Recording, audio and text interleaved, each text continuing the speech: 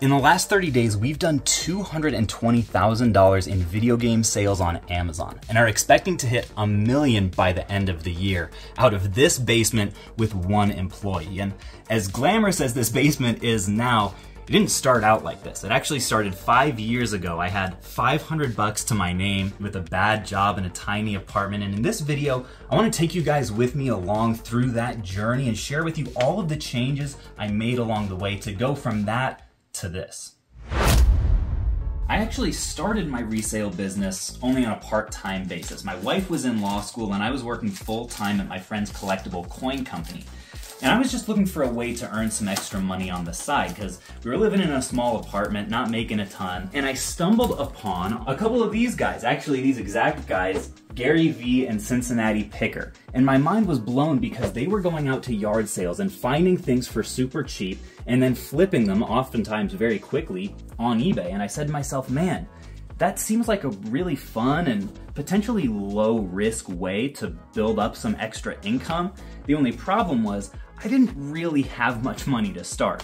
So I cobbled together 500 bucks of like birthday and Christmas money, and I promised Erica that that would be the only 500 I spend on the business. Anything that I wanted to invest in inventory or supplies or anything would have to come from flip profits from that initial 500. And so I hopped in my Prius and started spending every Saturday going to yard sales and estate sales and book sales, anywhere that I could spend very little money and hopefully find stuff to flip. At this point, it was pre-YouTube channel, but I do have some old Instagram stories that I was using to document the process. I remember my first flip ever was from a Goodwill. I found this big wooden sign for five bucks and flipped it on Facebook Marketplace the next day for 40. And I would have sworn I was the richest man in the world. From that point on, I was absolutely hooked. Spent $311 out the door here, and uh, I think it should be at least 450 in profit. And it didn't come a moment too soon because that's where things actually took a bit of a darker turn. Now, I mentioned that at this point I was just doing it part time as a little side hustle. I definitely had secret dreams of eventually doing this full time, but at that point I definitely was not ready. I wasn't at that level, which definitely made it sting when, after a few months of struggling at my full time job at my friend's coin business, I got fired. Now, we still had to keep our bills paid while Erica was in school, so I got a job that paid way less at a coffee shop.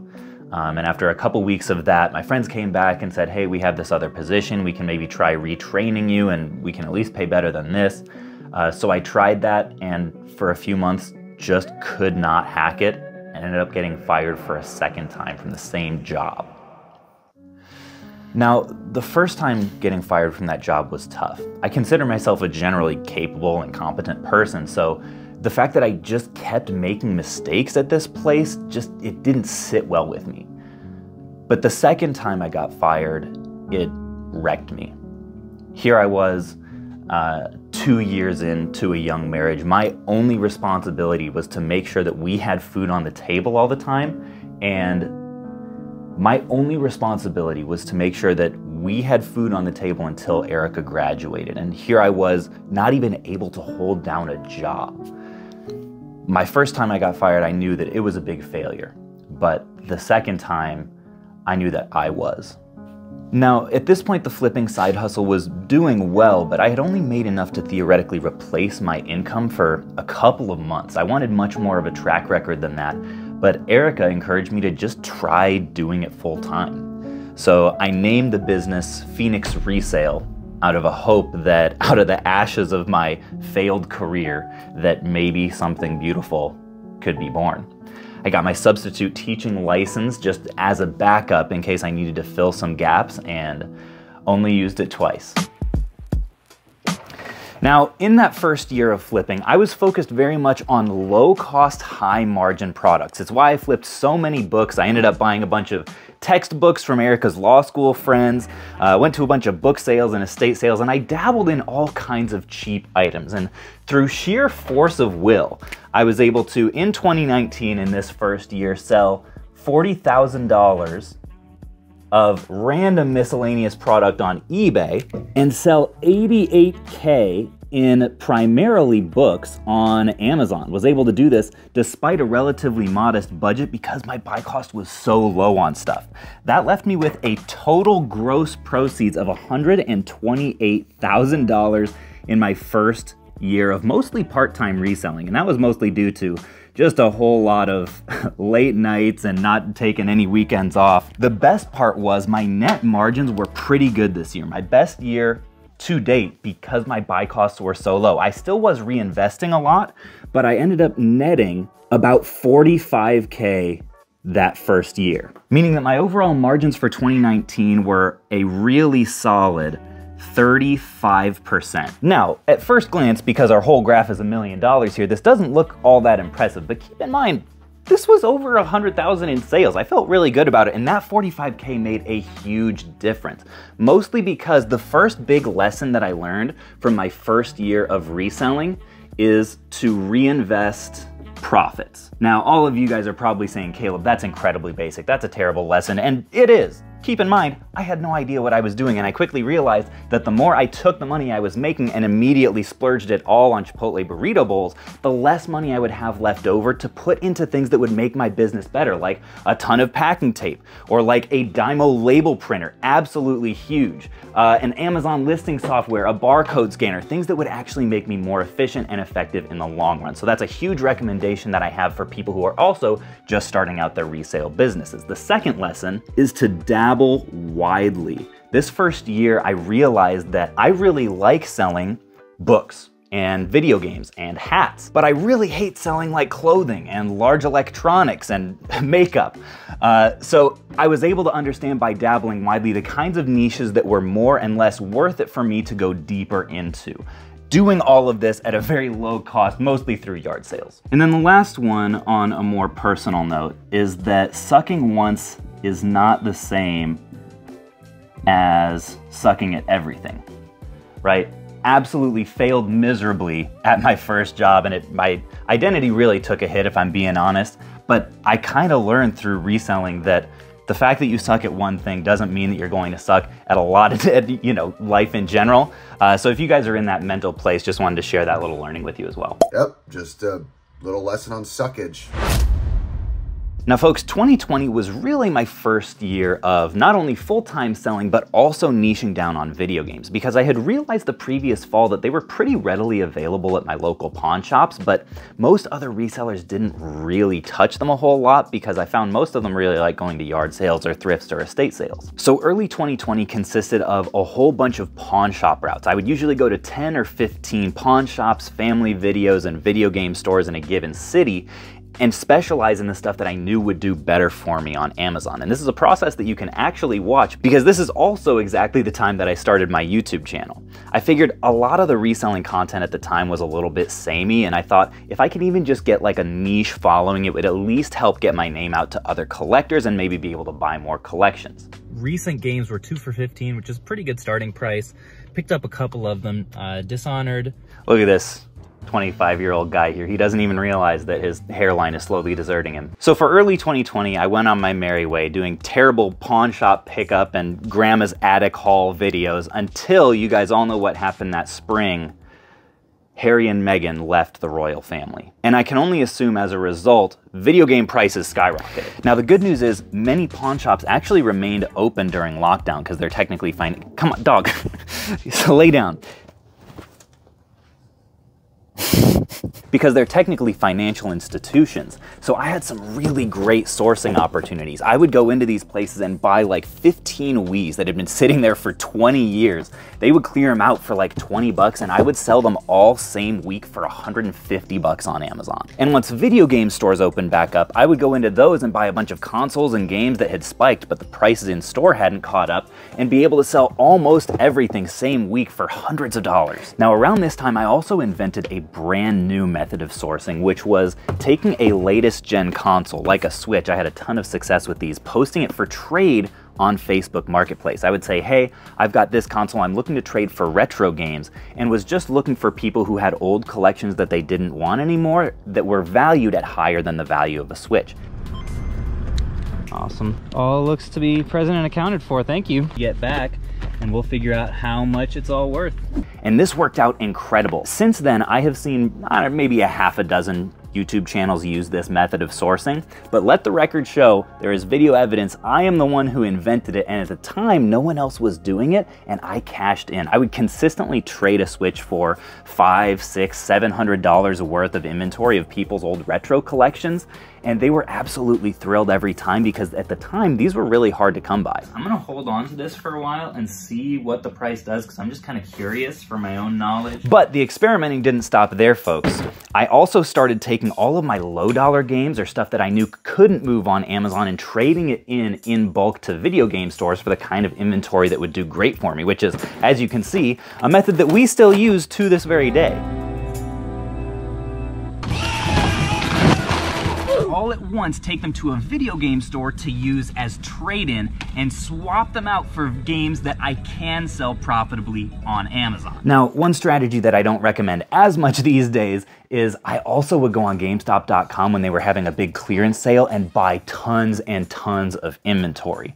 The reason that I wouldn't recommend it that much is because most of the stuff, I would say around half or 40%, ended up being completely loose without case or manual. And I don't know if it ended up being as profitable as I hoped it would, but that was just another way that I was dabbling in different forms of video game resale to figure out what worked best for me. Now, by the numbers, 2020 was an incredible year. Not only did prices explode for the exact kind of inventory that I was selling, but also my little YouTube channel in the space of this year kind of took off. I ended up with like 30,000 subscribers and 10K views per video. And the best part was the resale business didn't even have to take a hit. I mean, we did $395,000 this time in mostly video games on Amazon, another 65K on eBay for a total of 466,000 and was able to bring our net up from 45,000 the year that I was doing it mostly part-time to $79,000. Now, this doesn't sound like a lot, especially compared to 600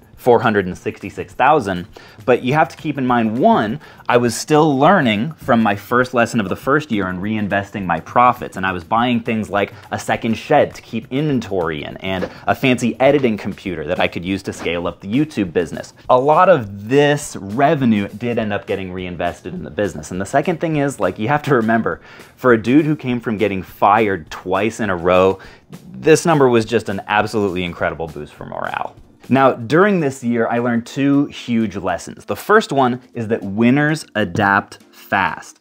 In early 2020, it was really scary for a lot of people, and it was scary for me too, because a lot of my regular sourcing avenues, especially in the beginning, were shut down.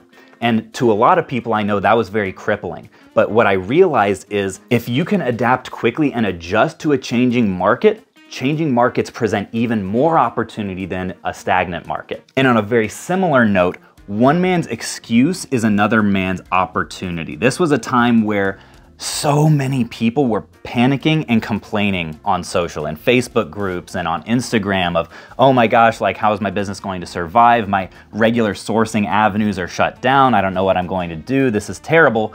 But at the same time, I saw a lot of other resellers just quietly crushing it. And I realized that there's a fundamental difference between how successful and unsuccessful resellers and business owners encounter obstacles. Some of them see excuses and see doom and gloom and what the heck is going to happen, and others see opportunity. And the ones that were willing to adapt and pivot and say, okay, now I'm gonna do a bunch more on Facebook Marketplace because stuff is selling for crazy prices. Or I'm gonna tell my friends and family that I really need inventory and I know they're going to help me out because they're probably just bored at home. Or I'm gonna find businesses, retail businesses, that are shutting down as a result of the lockdown and buy all of their inventory at a cheap price so many resellers were able to quietly crush it in 2020. And as a result of learning this lesson, I was able to eh, not crush it as much as some people did, but definitely see a really solid increase in numbers despite an equal increase in obstacles.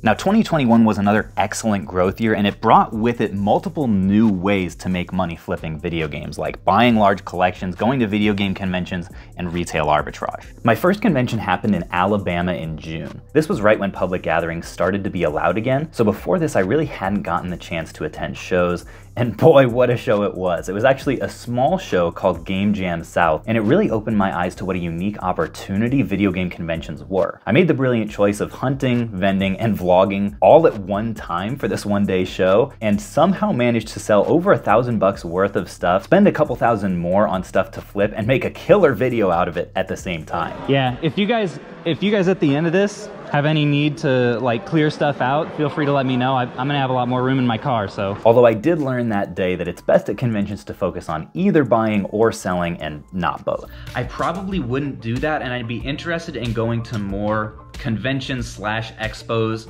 uh, in the future just to buy. I went to a couple more shows this year like Southeast Game Exchange and Too Many Games and I realized that a lot of rookie resellers share the same misunderstanding that at expos and trade shows, there's very little room for profit or deal making because all of the other vendors already know what they have and you're not going to get any good deals. But in reality, nothing could be further from the truth. One of the most important lessons I learned this year later became a channel mantra opportunity is everywhere. I realized that I was able to have so much success buying from pawn shops, video game stores, and conventions because so many other people shared the same defeatist assumptions that there was no money to be made and no profitable deals to be struck with other resellers and vendors. I'll go ahead and do the 120. All right, cool. That's not a bad price. The reality is, even within the same niche of resale like used video games, everyone has a different business model and the opportunities for mutually beneficial deals are everywhere. In 2021, I leaned even heavier into networking with pawn shops, game stores, and resellers and figuring out how to buy the items that work best for my unique model and quickly sell off the kinds of games that don't to my new friends so that they could make money too. Okay. How you paying? You got cash?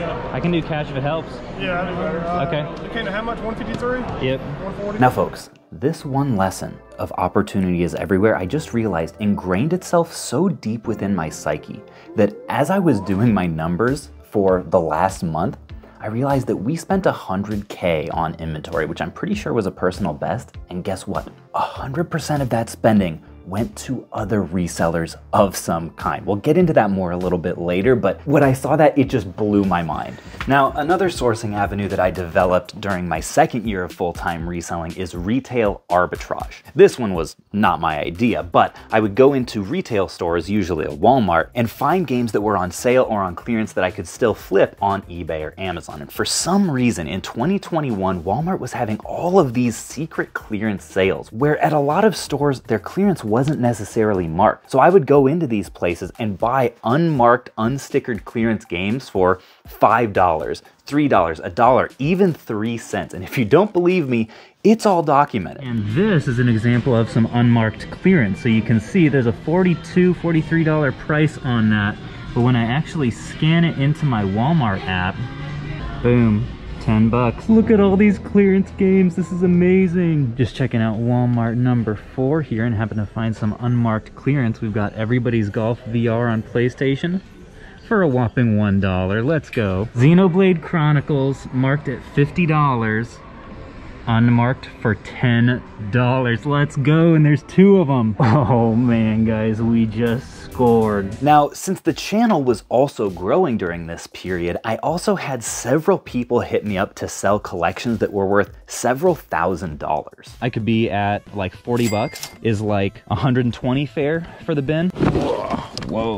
Yeah, there's some cool titles in here for sure. Huh. Okay, this, it looks, is still sealed. Well, I'm not gonna lie to you. I'm guessing this one has some pretty serious value. Looks like this one actually holds some value too. Mr. Driller. Now, the biggest thing that I learned from doing multiple bulk deals in 2021 was a mantra that I call pay your partners. It kind of flips traditional reselling wisdom on its head because normally when you're doing deals, especially bulk deals, you want to pay as little as possible to maximize profit. But what I started doing was paying as much as I reasonably could while still hitting my margins instead of as little as possible and trying to see my competition as collaborators rather than competitors. And that ended up being one of the most important belief systems of my entire reselling career because now most of the people, collectors, vendors, store owners that I do business with end up being repeat transactions rather than one-time deals. And in fact, that philosophy undergirds our entire primary business model now because most of the deals that we're doing involve our buy list. But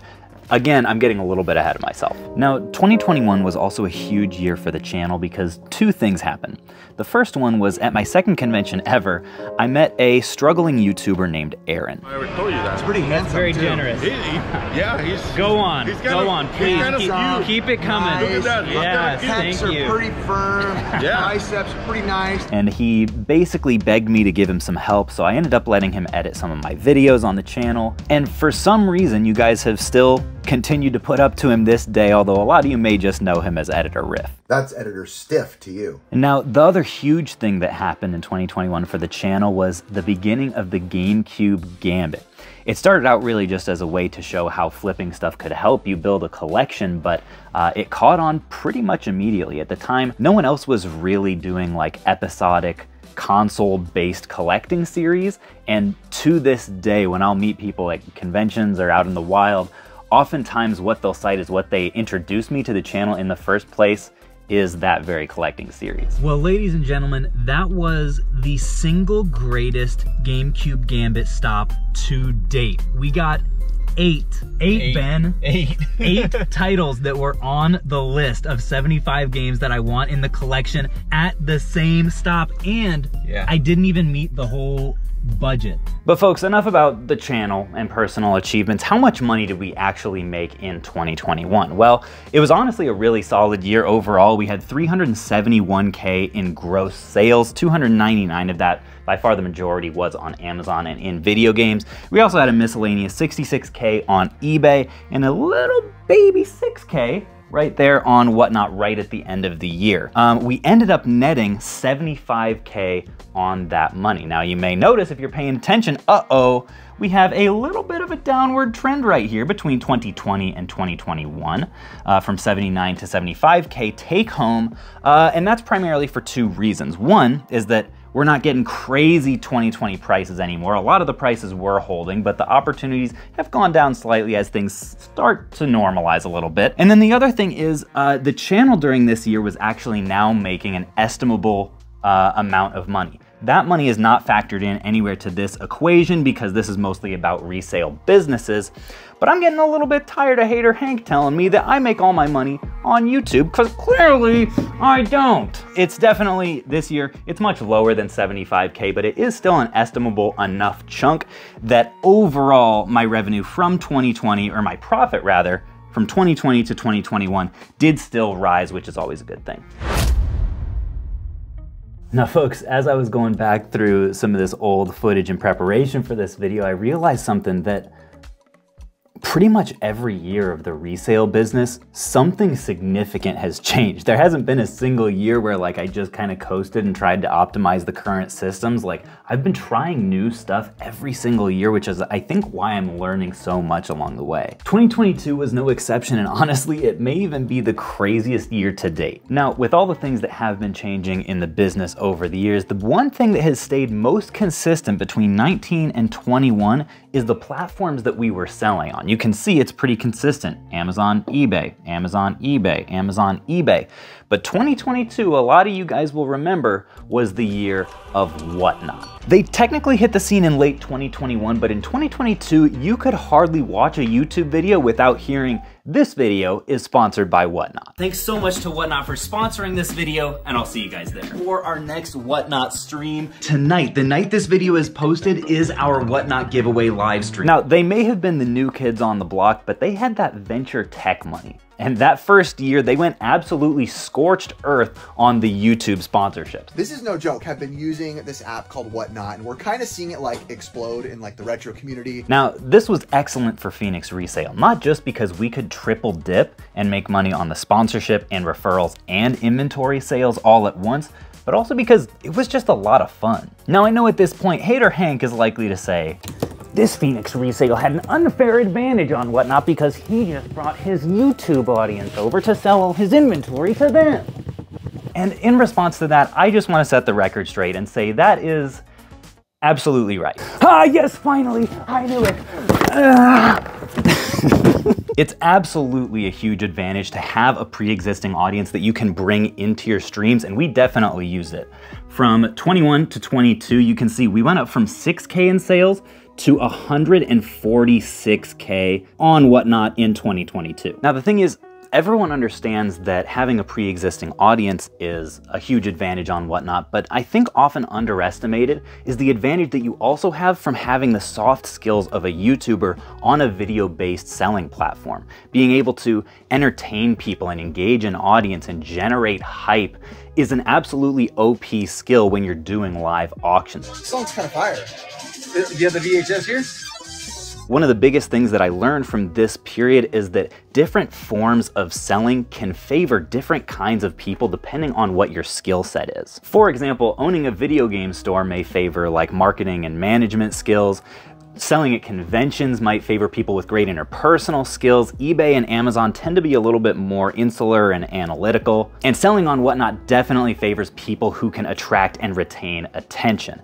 And the biggest recommendation that I would have for you if you are just starting out selling video games is to try as much as possible different forms of selling your inventory. You can buy a booth at a flea market, for example, or try out eBay, Amazon, whatnot, or a convention booth for relatively cheap and low risk, and it can be a huge difference maker in determining what your favorite business model is for moving product long term. So in other words, yes, the skills and resources that I gained from YouTube were an absolute competitive advantage on whatnot. But as we'll see a little bit later, the biggest competitive advantage the channel has lent me that I've ever found actually came the next year. But getting back to 2022, at this point in the business's development, I pretty much always had more work than I could really handle between eBay, Amazon, whatnot, conventions, bulk deals, game store stuff. And until this point, I had put off hiring as long as I possibly could. One of the fundamental mantras that has led my business is keep it small and keep it all. I really have no ambition at all to scale my business to become a titan like eStarland or Luki Games or DK Oldies. My personal goal is to do as much profit as I possibly can while keeping overhead as small as possible. People ask me all the time why I haven't opened up a video game store yet. And the reason is it's inconsistent with the philosophy of keep it small and keep it all. I mean, the headaches, the liabilities, the management, and the overall obligations that come with a video game store is just not a path that I really want to go down. That said, in 2022, I knew that the business had reached a point where I could not continue growing without help. And so, despite the fact that I've been very resistant to add any additional liability to the business, sometimes that liability is just so handsome that you can't really resist. is that sexual harassment to even say that? Now, Spanky, as Phoenix Resale's first ever actual part time employee, what do you remember about that first year? I remember um, tiptoeing around a workout bike and a yoga mat. Yeah, I thought I was going to be a YouTube superstar, and my career just never took off. now, a huge question that a lot of other resellers and business owners will have is that as you're coming out of the beginning phase of your business, how do you know when it's the right time to hire? As I already said, my general philosophy is to put it off as long as you possibly can. I am not big on hiring before you really need to. I knew that I really needed to ultimately when the inconvenience of not having an employee outweighed the inconvenience of adding one. And with a good employee, if you find the right person through the training process, they go from being an addict. they go from being an additional headache to actually being your Tylenol. is that the most offensive analogy you've ever heard? Anyways, the point is you should take into careful consideration the cost of hiring an employee, but in general, over time, you should find that they end up costing you less time and energy than they save. And Spanky got to that point pretty quick because there was just way more work than I possibly could do, which means it was probably a good decision. And also, look at the guy. And as if all of that change wasn't already enough, who could forget that in 2022 we also switched facilities from a single a spare bedroom, and a couple of sheds to this lovely half basement. And some of you guys may think, Caleb, that's not actually that big of an upgrade, but let me tell you, when you don't anymore have to trudge through the snow to get to your sheds and access your eBay inventory every day, it makes a huge difference. And while instead of making this jump, we definitely could have gone to something like a warehouse to have more space and be able to hire more employees, at this point, you guys already understand why we didn't go that route. All right, let's get into the juicy, juicy numbers of 2022, shall we? Unsurprisingly, as a result of increased conventions, increased deals, and most importantly, Mr. Advil behind the camera helping me out and being able to move more inventory. 2022 was our best sales year to date. We did 501,000 on Amazon in addition to the 146 that we already talked about on Whatnot for a total of 647K in sales, which is fantastic. We netted on that 109K. Now you may ask, you may be paying attention to the profit margin percentages for each year. Caleb, hold on a second. Looks like you had 20% margin in 2021 and 17 in 22 what gives? Isn't that the opposite of the direction that you want to go? And yes, that is the case. This was mostly due, I don't think that our margins on deals really slipped much here. This was mostly due to higher overhead cost of guess what, Mr. Advil, payroll. But the other thing that you'll notice is that the increase here in overall revenue outpaced the decrease in overall margin to the point where profit still was able to go up from 75K to 109K. And that's really what you want to see as you're adding people. That's a great signal that the additional cost is well worth it. Now, this year, again, talking about reinvesting profits, most of this or a lot of this did end up going into the down payment for this house because at this point, Erica is working and we're able to live largely off of her salary. Just as a little personal finance note, all to say that if your margins are shrinking, it's okay as long as your bottom line is not doing the same thing. So folks, that all brings us right here to 2023, which spoiler alert has been even better than 2022. But before we get there, I just wanna say if you like content like this, you may very well enjoy my second channel, Renix Pesale, which is largely dedicated to behind the scenes content of the resale business and me randomly rambling about different business concepts and philosophies that I'm learning. So You may very well accidentally put your price for Ultimate Marvel vs. Capcom 3, but only list it as Marvel vs. Capcom 3. Uh, check that out. It's definitely way worse than what you're used to seeing on Phoenix Resale, but the plus side is I just edit everything on my phone that is filmed there, so Editor Riff will never rear his ugly head over there, which is a huge plus. Let me just put on my calendar real quick which days I'm going to be editing for Caleb next year. Oh, oh, there it is. Now, my mantra for 2023 was three words do less better. This came about because at the end of 2022, I reached a bit of a burnout point and knew that I couldn't keep producing at the level I was if I wanted the quality to stay high. So as a result, one of the things I did was I took the channel upload schedule down from two a week to just one a week. And if you guys have been tracking on the channel recently, we actually went down again in, in uh, November down to just two a month. And even though this does come at the cost of overall revenue, it also allows me the mental time and energy to make sure that every upload is excellent and that the business stays healthy and growing. Now, another way that we implemented this strategy, this is less on the like resale business side and more on the broad picture of Phoenix resale was I'm now doing less sponsorships on the channel. You guys may or may not have noticed. Uh, to be honest, that was the single most profitable part of the business on a like dollars per hour basis. So it stung a little bit to take it away, but ultimately I really just didn't like it. I still don't like just taking an afternoon to script and edit an ad read that ultimately makes a video worse. To be clear, I have nothing against sponsorships at all in general. I'm all for creators getting paid any way that they can, but right now the business has uh, the space and kind of the luxury that I don't really have to. It's possible I'll go back to them in the future, but it ended up being something that freed me up to do less better this year that I think ended up having a really positive impact on our bottom line, which we'll see later. Now, the way that we did execute the do less better philosophy in the resale business was actually twofold. One is we started doing fewer whatnot auctions and we started not taking consoles. Now, it's not because consoles were not profitable, but I knew all along that our real bread and butter in the Amazon business is two things games and handhelds. And every time uh, we got a whole bunch of consoles in. I would procrastinate them, I would put them off, and when we did finally get to them, we didn't have the efficiencies and the systems in place to process them quickly, and our profit per hour was significantly lower than it was for games and handhelds, which we did have the systems for. One of the concepts that uh, I broke down recently on the second channel, Renix Pesale, is that of addition bias, which is basically our tendency to solve problems by adding things rather than taking things away. And this year is our year of resisting addition bias and taking away parts of the business that aren't fully optimized, such as buying consoles and doing more miscellaneous whatnot streams than necessary in order to pour gas on the things that are working and the results, as we'll see in a little bit, have been really stellar. Now, another huge change that happened this year is I actually hired my first full-time employee, but unfortunately, once they found out that I'm a scammer and a fake gamer, they quickly backed out. So I ended up just promoting Spanky instead. And uh, the timing actually worked out pretty amazing because he had just wrapped up seminary, and as you can see from our numbers from 2021, his even part-time presence made an absolutely huge impact. And at that point, like we were still scaling to the point where like there was enough work to go around. And uh, at this point, he's in charge of all incoming and outgoing inventory and even vetting deals. So if you guys want a good number, if you're trying to sell us your collection, you have to be nice to him. It's true.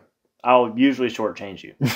now, the deals that I'm talking about that Spanky is vetting now are coming mostly from our new buy list program. This is basically a spreadsheet of all of the games and handhelds that we pay the best for that we've distributed to all of the partners and other resellers and game stores and vendors that I've met over the year at conventions and through the channel. And I teased you guys earlier when I said that bringing my YouTube audience to Whatnot was the second biggest way that I used the competitive advantage of the channel to benefit the resale business.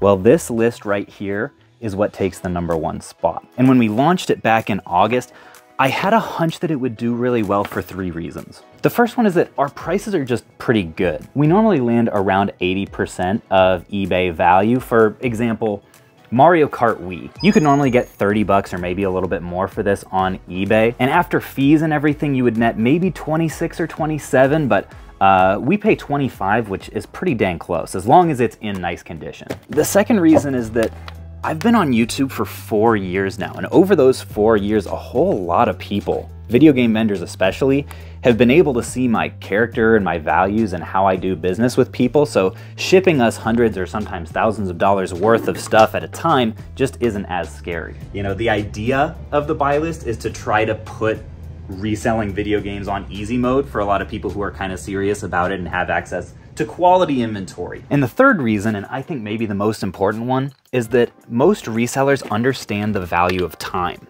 One of the concepts that we've been touting a ton is the idea of buy low and sell fast. This has been our business model from the very start. And I think a lot of other resellers love the idea of being able to move more product fast without the hassle of having to do photos and listings and then sit on something and wait for it to sell and then pay a bunch of fees on it. Selling stuff all at once and being able to get paid on everything next week is a huge plus for a lot of folks like us. Now, I mentioned to you guys before that November was a record spending month at over 100K. 24K of that went into a single bulk deal, which a lot of you guys probably saw. I posted it recently on Renix Pesale.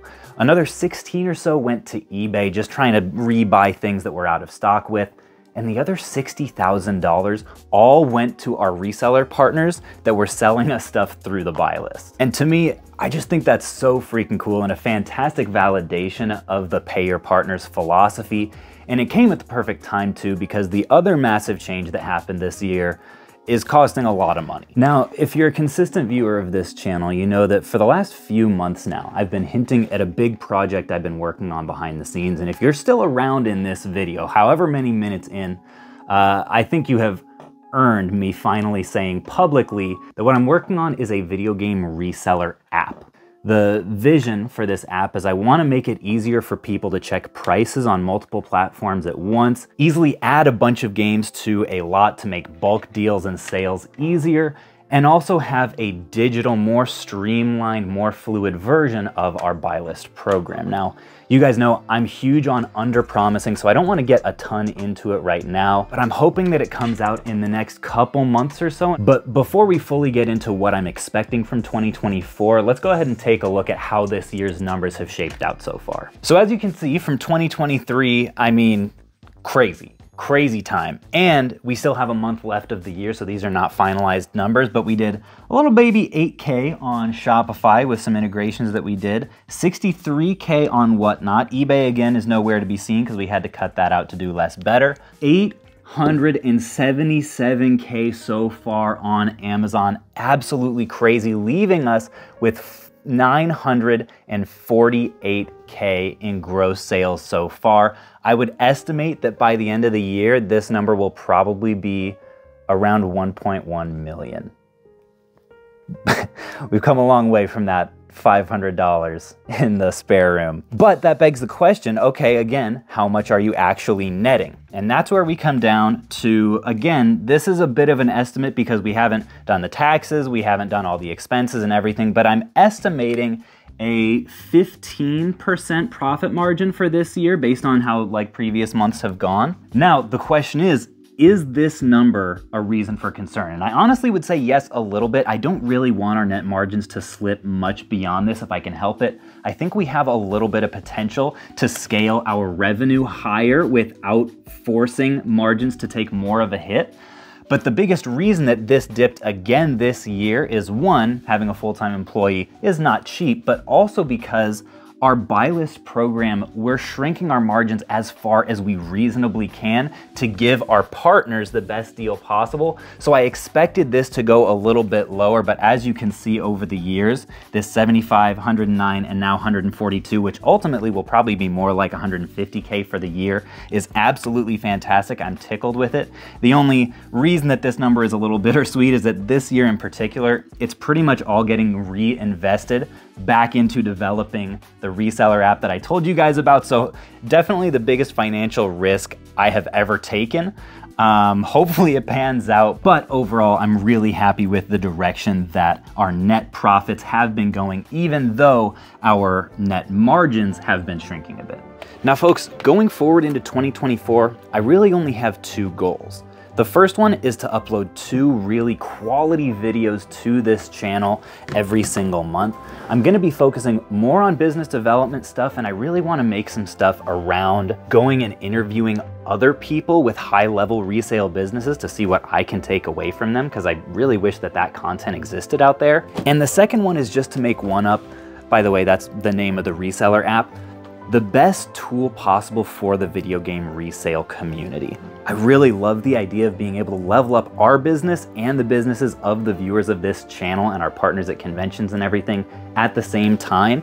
And so I'm devoting a lot of time and mental energy to be able to make that as best as I possibly can as an idiot with absolutely no experience. I'm gonna be posting all of the updates for this business and also the app on the second channel if anyone's interested. And I'll go ahead and link the $20,000 video game negotiation video right down here.